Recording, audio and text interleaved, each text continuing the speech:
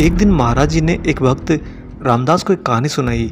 बाबा कहते हैं, समर्थ गुरु रामदास राजा के गुरु थे और राजा के महल के बाहर ही बगल में एक झोंपड़ी बनाकर उसमें रहते थे। एक दिन वह राजा अपने महल से बाहर आया और अपने गुरु को प्रणाम किया। उसके बाद राजा ने गुरु के हाथ में एक गोल मोड़ा हुआ पत्र दिया, जिसमें उसने अपने संपूर्ण राज्य को गुरु को ही अर्पण करने की घोषणा कर दी थी। गुरु ने पत्र लिया, उसे पढ़ा और फिर राजा से कहा, अब तू मेरी ओर से इस राज्य को चला। महाराज जी पूछते हैं कि रामदास समझे कुछ बात? नमस्कार दोस्तों, स्वागत है एक बार फिर से आप सभी का, आपके अपने चैनल हनुमान से परिवार में। आशा करते हैं कि प्रभु श्री हनुमान जी और परम पूज्य गुरुदेव बाबा नीम करोरी महाराज जी आप सभी वक्तों पर असीम कृपा सदैव बनाए रखें। अभी जो घटना हमने आपको सुनाई, इस घटना का तात्पर्य है कि जो कुछ भी एक मनुष्य के पास में होता है जो कुछ भी एक भक्त अपने जीवन के अंदर भिन्न भिन्न मार्ग के द्वारा अपने समीप लेकर आता है, वह सारा का सारा राजपाट एक तरह से एक मनुष्य का राजपाट ही कहलाता है क्योंकि हर मनुष्य अपने जीवन के अंदर कुछ ना कुछ सीमाओं तक अपना स्वामित्व ज़रूर दर्शाता है। अतः हर मनुष्य का जो राजपाट है, वास्तव में वह राजपाट तो उसके गुरु, उसके इष्ट बाबा नीम करोड़ी महाराज जी का ही है और महाराज जी की प्रेरणा से, बाबा की आज्ञा से, उनके आदेश से उन्हीं के राजपाट को भक्त आगे बढ़ाता है। उन्हीं के राज्य को एक भक्त आगे चलाता है। और महाराज जी का जो राजपाट है दोस्तों, उसमें भौतिक जगत तो बहुत मामूली सा है। जो अधिकांशतः हिस्सा है, वह है चेतना और भक्ति का अद्भुत संगम। जी हाँ दोस्तों, जो कोई भी महाराज जी के श्री चरणों में रहता है, बाबा के शरण में रहता है, महाराज जी उसे चेतना और भक्ति का बहुत बड़ा साम्राज्य संभालने को दे देते हैं। अब यह तो उस भक्त के ऊपर निर्भर करता है कि वह सही से राजपाट को यानी कि बाबा के राजपाट को सही से सुचारू रूप से आगे बढ़ाए या फिर एक कमज़ोर राजा की तरह उस राजपाट को डुबो दे। जिस तरह से दोस्तों आप इतिहास पढ़ते हैं और इतिहास में आप ये पाते हैं कि अनेक राजा रजवाड़े धरती पर आए, अनेक साम्राज्य उन्होंने खड़े किए और कालांतर में उनके साम्राज्य बुरी तरह से ढह गए और वो राजा रजवाड़े अपने ही अस्तित्व को खो देते हैं। बिल्कुल ठीक यही भाव एक भक्त के साथ होता है।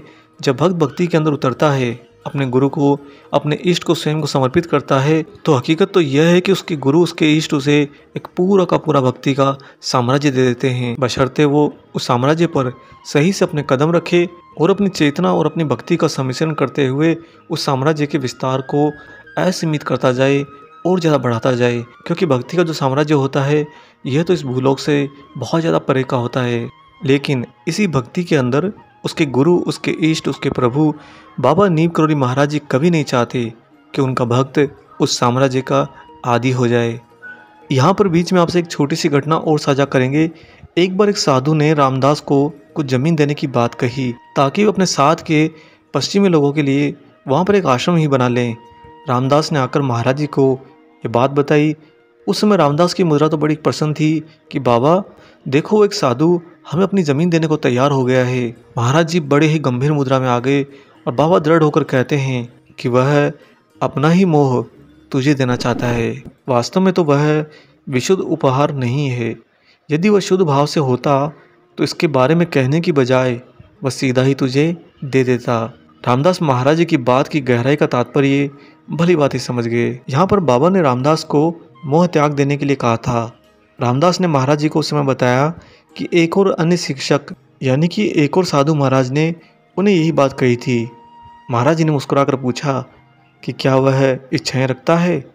रामदास ने जवाब दिया कि जी हाँ मैं सोचता हूँ कि अब भी उसमें शायद कुछ इच्छाएँ व्याप्त हैं। तब बाबा एकदम से खिलखिला उठे और बोलते हैं कि तब वह तुझे इच्छाओं से कैसे मुक्त करा सकता है? कहने का तात्पर्य है कि जो गुरु, जो शिक्षक, जो भी आपका मार्गदर्शक है, अगर उसका स्वयं की इच्छाओं पर नियंत्रण नहीं है तो वह आपको इच्छाओं से त्याग भला कैसे करा सकता है? ईश्वर का एहसास वही आपको करा सकता है, जो स्वयं ईश्वरमय हो ईश्वर लीन हो और हर समय ईश्वर को ही केंद्र में रखे हो। अगर उसमें से एक क्षण के लिए भी ईश्वर को निकाल दिया जाए तो वह आपको ईश्वर का न तो ज्ञान दे सकता है, ना ही ईश्वर के साक्षात दर्शन करा सकता है। हाँ इस कलियुगी दुनिया के अंदर अपना ढिंडोरा ज़रूर पीट सकता है। दोस्तों, परम पूज्य महाराज जी पूर्ण रूप से अनासक्त हैं। जिस समय से बाबा ने हनुमानगढ़ मंदिर को छोड़ा, उन्होंने कभी इसका नाम नहीं लिया। जब वे कैंची धाम से गए, उन्होंने मुड़कर भी नहीं देखा। वे कहते थे, जब हमने छोड़ दिया है तो छोड़ ही दिया। मंदिर तो केवल पत्थरों के ढेर हैं, यह मोही तो है जो तुम्हें पीछे खींच लेता है। हमें कुछ नहीं चाहिए। हम केवल दूसरों की सेवा के लिए जीते हैं। हम केवल धर्म का प्रचार करते हैं। महाराज किसी भी भक्त के घर पर कब पहुँच जाएँ दोस्तों? कब चले जाएँ? इसका कोई ठिकाना नहीं रहता। साथ ही महाराज जी, कभी किसी भी भक्त से कोई भी उपहार नहीं लेते, बिल्कुल नहीं लेते। जो भी साधु संत किसी से उपहार ले ले, वह साधु संत वास्तव में कोई संत नहीं होता, बल्कि इस दुनिया के अंदर इस माया को दूसरे ही स्वरूप से भोगने वाला भोगी होता है। एक बार किसी पर्व पर एक विशेष उपहार के लिए एक भक्त ने काफ़ी ज़्यादा महाराज जी से अनुनय विनय किया। यह उपहार दोस्तों उसके द्वारा कठोर परिश्रम से रेशम और साटिन की तैयार करी गई मालाओं का था। उसकी मालाओं को देखकर ऐसा लगता था जैसे वास्तव में असली फूल पत्तियों की हो। इतना बारीक कारीगरी, इतना अच्छा हुनर और साथ ही इतना अच्छा कल्पनाओं का तालमेल। लेकिन जो ही उसने इसे महाराज जी के गले में डालने की कोशिश करी, बाबा ने उसे मना कर दिया। महाराज जी बोले, इनको ले जा। ये तो संसारिक लोगों के लिए बनाई गई हैं। ताकि वे इसकी प्रशंसा करें। हम इस संसार के नहीं हैं। दरअसल दोस्तों, महाराज जी को भेंट की गई वस्तु का कोई महत्व नहीं होता था। महत्व इस बात का होता था कि जो वस्तु उन्हें दी जा रही है, उसके पीछे भावना क्या है? उसके पीछे वास्तव में भाव क्या है? बाबा के श्री चरणों में रहने वाले अनेक भक्तों ने एक बात बिल्कुल कॉमन रूप से बताई है। उन सभी का कहना है कि महाराज जी एक साधारण से पत्ते से, यानी कि आपने एक पेड़ या एक पौधे की डाली से एक छोटा सा पत्ता भी तोड़कर अगर बाबा को देते हो तो वे इससे भी आनंदित हो जाते हैं। यदि तुमने हृदय से इसे दिया हो, महाराज जी को भाव से अर्पित किया गया, एक पेड़ का, एक पौधे का छोटा सा पत्ता भी बाबा ग्रहण कर लेते हैं। उसके विपरीत दिशा के अंदर आप अनंत हीरे, जवाहरातों, मोतियों की माला लेकर भी अगर जाएँगे तो बाबा उसकी ओर देखेंगे भी नहीं। महाराज जी के लिए तो कोई भी वस्तु निषिद्ध नहीं थी। वह गर्द में भी पसीने से तर होकर बैठे रहते, कहते ये धरती माता है, जिस पर हम बैठे हैं और हम इसकी मिट्टी के बने हैं, समस्त भूमि ईश्वर की है। प्रत्यक्ष देखने के प्रयास से अच्छा यही है कि हर वस्तु में तुम ईश्वर को बिठा लो, ईश्वर को केंद्र में ले आओ और उन्हें देखना शुरू करो। यदि तुम्हारे दांत में दर्द है तो तुम जो करते हो करते रहो, परंतु ध्यान दांत पर ही केंद्रित करता है। बिल्कुल ठीक इसी तरह से तुम्हारे जीवन के अंदर चाहे जैसे भी कष्ट आते हों, चाहे जैसे भी परेशानियाँ आती हो, चाहे जैसे भी सुख भी क्यों ना आते हों, उन सभी के बीच में अपने ईश्वर को रख लो। बस यही तुम्हारा जीवन है, बस यही तुम्हारे जीवन का उद्देश्य है। महाराज जी ने यहाँ पर उस भक्त को अपने द्वारा दिए गए उस भक्ति के साम्राज्य को बहुत ही ज़्यादा सरल कर दिया है। एक बार दोस्तों, एक भक्त ने पूछा कि यदि मेरा बच्चा हो जाए तो मैं कैसे निर्लिप्त रह सकता हूँ बाबा? महाराज जी ने तुरंत उत्तर दिया, सिर्फ़ ईश्वर पर विश्वास करो और ईश्वर को याद करो।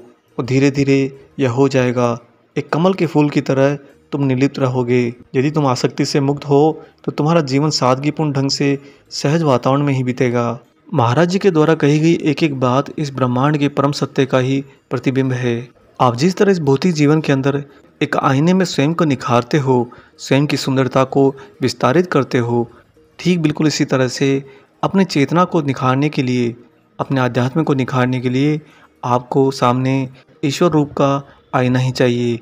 ईश्वर ही आपकी चेतना को, आपकी चेतना की सुंदरता से रूबरू करा सकते हैं। दोस्तों, महाराज ने यहाँ तक एक बार कह दिया कि ईश्वर तुम्हें हर वस्तु देगा, जिसकी तुम्हें अपने आध्यात्मिक विकास के लिए ज़रूरत पड़े। किसी भी चीज़ में आसक्त मत रहो, गरीबों से प्रेम करो, उनकी सेवा करो, गरीबों को सब कुछ दो, अपने वस्त्र तक इन सबको दे दो। याद करते बाबा कहते हैं कि ईसा ने तो सब कुछ दिया यहाँ तक कि अपना शरीर भी। फिर भला तुम्हें अपने द्वारा, ईश्वर के कार्य में कुछ देने में कैसी शर्म? महाराज जी के द्वारा बताई गई सारी बातें एक भक्त जब अपने जीवन के अंदर अनुसरण में ले आता है तो वह समझ जाता है और पहचान जाता है साथ में कि उसके सामने जो खड़े महाराज जी हैं, वह वास्तव में कौन हैं। जिस रूप को, जिस स्वरूप को और जिस आयाम को आप ध्यान लगते हो पूजने लगते हो, जिसके नज़दीक जाने के लिए आपके प्रयत्न होने लगते हैं, अंततः आप उसके वास्तविक निखार को प्राप्त कर लेते हो, उसके स्वरूप के असीमित आयाम को ग्रहण कर लेते हो। यही तो एक भक्त को मिलने वाला सबसे बड़ा आशीर्वाद होता है। इसलिए दोस्तों, हमने इस वीडियो का शीर्षक भी रखा कि शायद तुझे इसी वीडियो की तलाश थी जहाँ पर जहाँ पर तुम्हें महाराज जी की कुछ गुड़ बातें और कुछ गुड़ शिक्षाएँ ग्रहण करने को मिल सके, बाबा के ही आशीर्वाद से। उम्मीद करते हैं कि आज का ये वीडियो आपकी तलाश पूर्ण करने में आपको ज़रूर सहयोग करे। आशा करते हैं दोस्तों, आज का ये वीडियो आपको ज़रूर पसंद आया हो। वीडियो अगर अच्छा लगा है तो जाने से पहले इसे लाइक कर दीजिए और अगर आप चैनल पर नए हैं तो चैनल को सब्सक्राइब भी कर लीजिए। मिलेंगे बहुत जल्दी ही एक और ऐसे ही अलौकिक अंक के साथ। तब तक अपना और अपने माता पिता का संपूर्ण ख्याल रखिए। और परम प्रभु श्री राम जी का निरंतर गुणगान करते हुए बाबा हनुमान और बाबा नीम करोली महाराज जी की निस्वार्थ होकर सेवा करते रहिए। जय सिया राम।